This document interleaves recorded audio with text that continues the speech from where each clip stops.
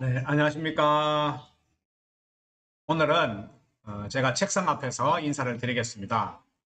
어, 벌써 12월도 약 10일 정도밖에 남지 않았네요. 어, 연말 어, 지금 정말 정말 바쁘게 서류 준비하고 작성하고 본부에 보내고 한다고 저도 정신이 지금 없습니다. 아, 정말 12월이 빨리 지나갔으면 좋겠어요.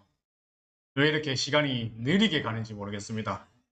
저는 사실 막 데스크 체질보다는 어, 필드에 나가서 어, 같이 주민들과 호흡하고 농사 짓고 이런 게 훨씬 더 저에게는 맞는 일 같은데 어, 사실 이게 사무소장 업무라는 게 거의 데스크에서 서류 작업하는 일이 거의 70% 80% 이상이거든요.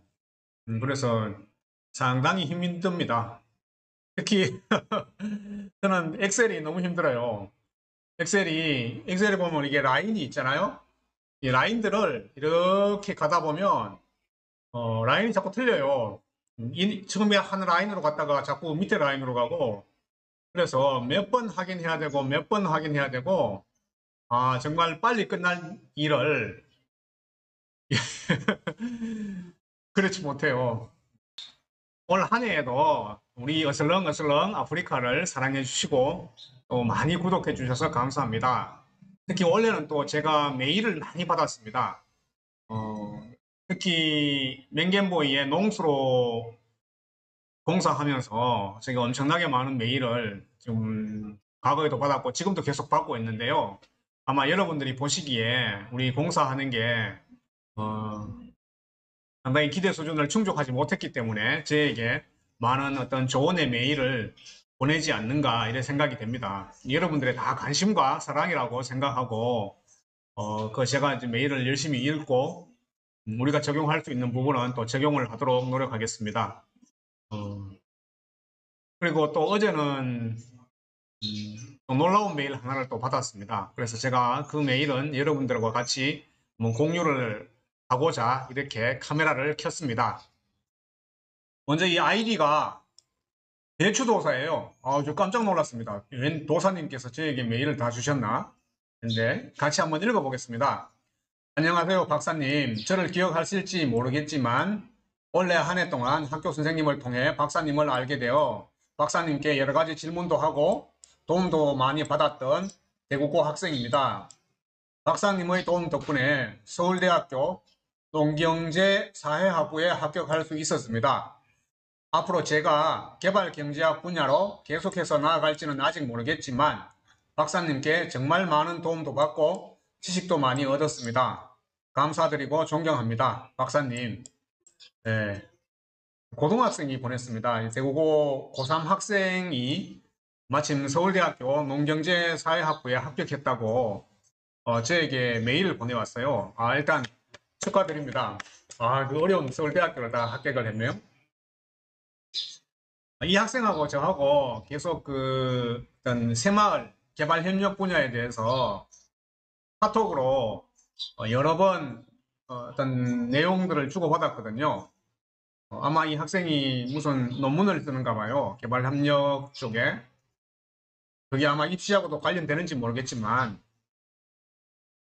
계속 어, 새마을에 대해서 서로 주고받는 가운데서 저도 정도 많이 들었어요.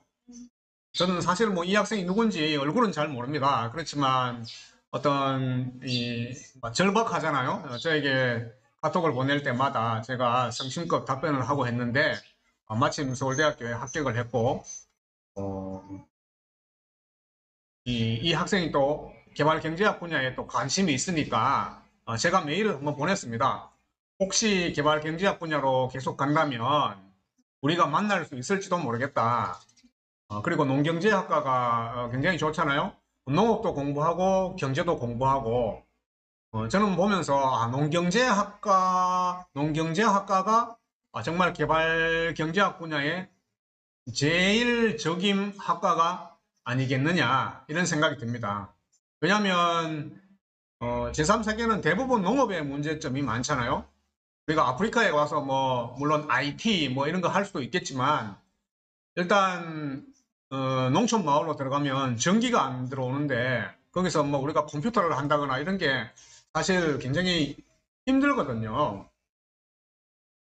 일단 농촌 마을에는 농촌이 그 농업이 가장 시급하니까 아, 그래서 농경제학부를 졸업한 많은 인재들이 이런 쪽으로 오면 어, 정말 할 일이 많지 않을까 그런 생각이 듭니다. 그래서 오늘 아침에는 이 메일을 여러분들과 함께 같이 공유를 했습니다.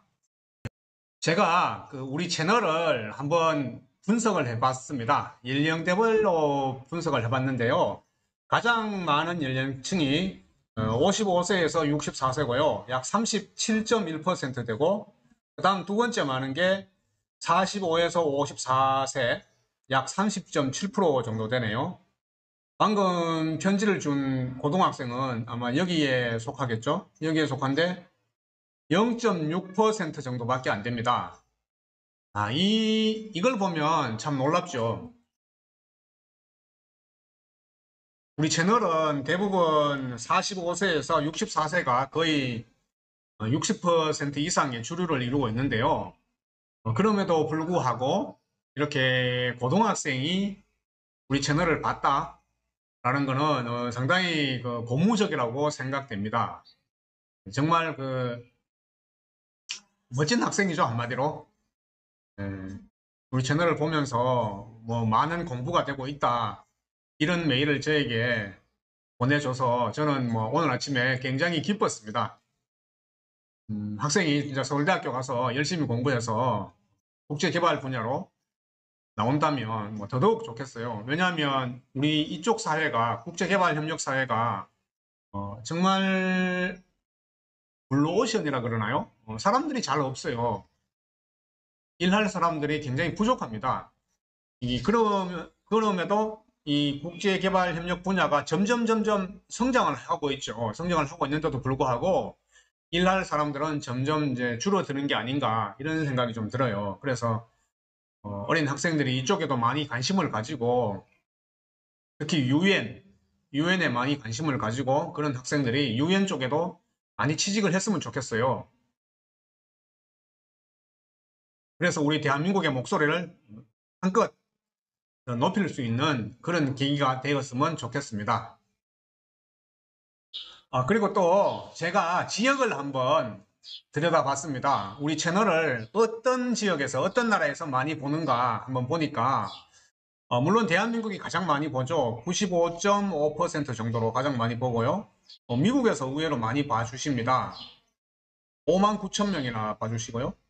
2.2% 그리고 캐나다, 일본, 베트남, 오스트레일리아, 필리핀, 중국에서 많이 봐주시는데 어, 놀라운 건 이 밑에 내려가면 사우디아라비아, 체코, 우크라이나, 스웨덴, 북마리아나 제도, 나미비아, 핀란드 아, 이쪽에서도 많이 봐주세요.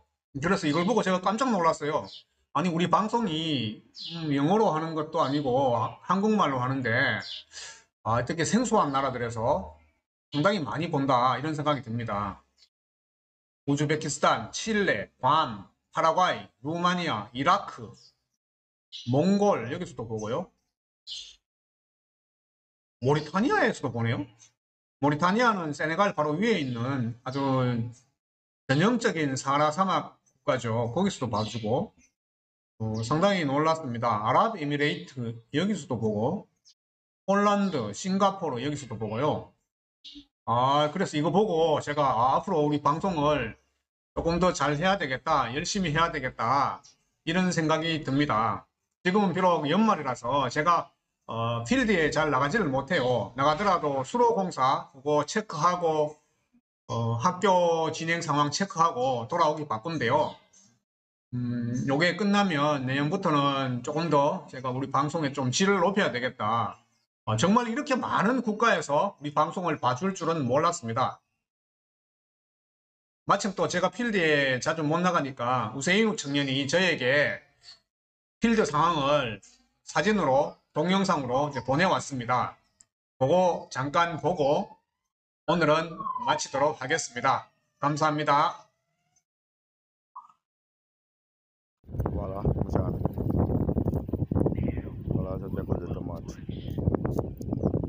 semana. Angkat